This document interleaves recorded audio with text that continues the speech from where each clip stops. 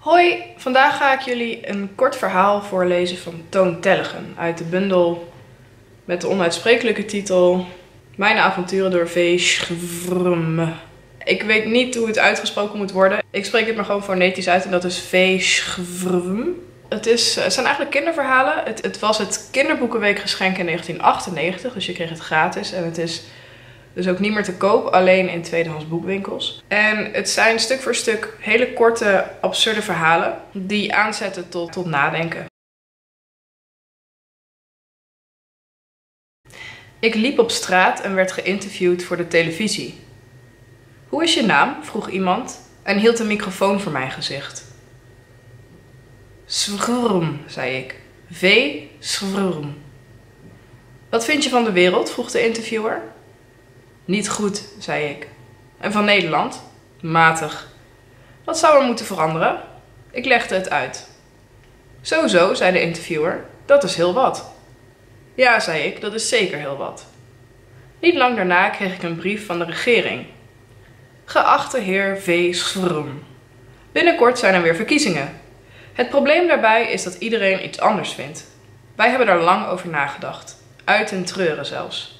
Wij denken dat alleen u precies weet wat het beste is voor Nederland. Tussen haakjes, we hebben u op televisie gezien. Daarom verzoeken wij u op 23 mei te stemmen. Niemand anders zal stemmen, alleen u. Tussen haakjes, voor deze speciale gelegenheid geven wij u stemrecht. Tussen 8 uur s ochtends en 6 uur s avonds op de Dam in Amsterdam. Hoogachtend, de regering.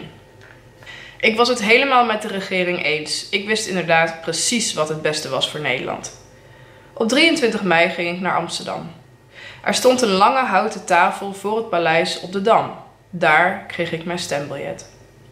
Aan de andere kant van de Dam was een stemhokje met een gordijn ervoor. Er waren duizenden toeschouwers. De politie hield ze op afstand. Ze klapten in hun handen en juichten mij toe. Ze waren blij dat zij niet hoefden te stemmen. Ze begrepen dat ik wist wat het beste was voor Nederland. En zij vergisten zich misschien. Maar als ze niet hoefden te stemmen, dan was dat niet erg. Ik maakte het vakje rood dat ik rood wilde maken. Midden op de dam stond een stembus. Er stonden bewakers omheen. Ik deed mijn stembiljet erin. Er ging gejuich op. De toeschouwers riepen: Wat is het beste voor Nederland? Wacht de uitslag maar af, zei ik. Iemand van de regering gaf mij een hand en bedankte mij. En ik zag heel even dat de koningin uit een raam van haar paleis toekeek. Ik ging naar huis.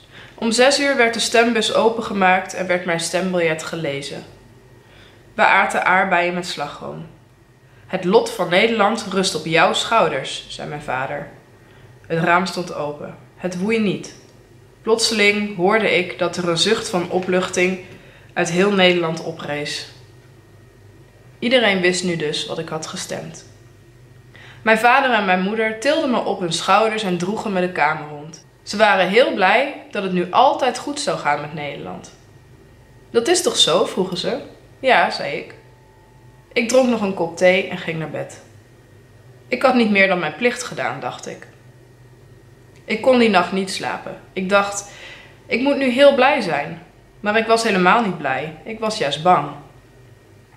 Terwijl een van mijn plannen was dat nooit meer iemand bang hoefde te zijn. Ik begreep er niets van. De wind blies tegen de ramen van mijn kamer en de regen kletterde op het platte dak. Ik kneep mijn ogen dicht en zag de dam voor me. Regen sloeg tegen het paleis van de koningin. Er brandde nergens licht. En er was op straat ook niemand te bekennen. De lege stembus rolde midden over het plein. Mijn stembiljet lag ergens op de tramrails en werd gegrepen door de wind. Het woei op, dwarrelde in het rond, vloog hoog over het paleis heen en verdween in de donkere wolken. En toch zou alles voortaan goed gaan. Dat moest. Toen sliep ik in.